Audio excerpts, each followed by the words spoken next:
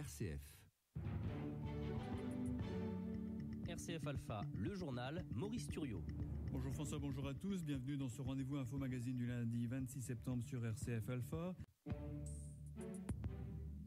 Pendant cinq mois, Charles Edrix va emprunter près de 2000 km de canaux sur son bateau à rame. Il va franchir 400 écluses et 60 barrages, un défi inédit qui met la voie d'eau à l'honneur et permet de découvrir ou de redécouvrir le patrimoine fluvial français.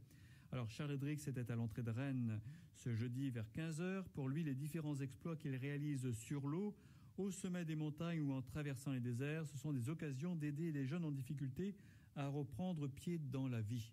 Au fil du temps, je me suis aperçu que, euh, quel que soit euh, son âge, son profil, ses origines, à partir du moment où on est en pleine nature, on est touché.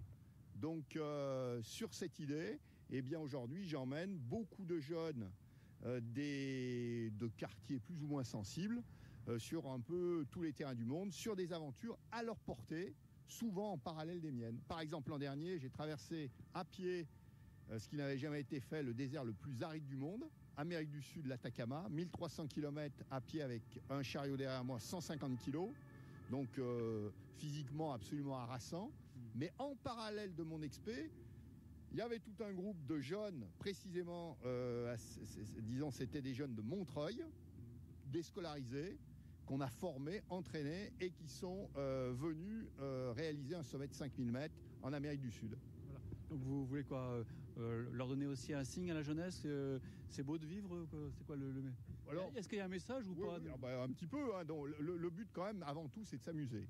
Hein, c'est quand même le, Mais à partir de là, montrer par exemple que de s'amuser, moi je fais ça parce que ça m'amuse, hein, personne ne m'oblige de ramer mm. à longueur de temps, de prendre des risques en allant au sommet de l'Everest, mais que derrière ça, bah, il y a des efforts, il y a quelques contraintes. Par exemple, pour réussir un, sommet de 5000 mètres, pour eux, bah, il fallait s'entraîner, se lever le matin, euh, euh, s'intégrer dans un groupe avec quelques contraintes. Hmm. Et puis après, donc euh, évidemment, il y a cette sensibilisation donc à l'environnement, au réchauffement de la terre, très facile à mener quand on est sur le terrain. Et puis après, beaucoup d'actions, d'insertion euh, on met tout en œuvre pour leur trouver un stage, euh, un CDD, un CDI, une formation, euh, à partir du moment où ils nous font confiance et qu'ils voient que bah, on est là pour, pour créer quelque chose de, positif et de dynamique.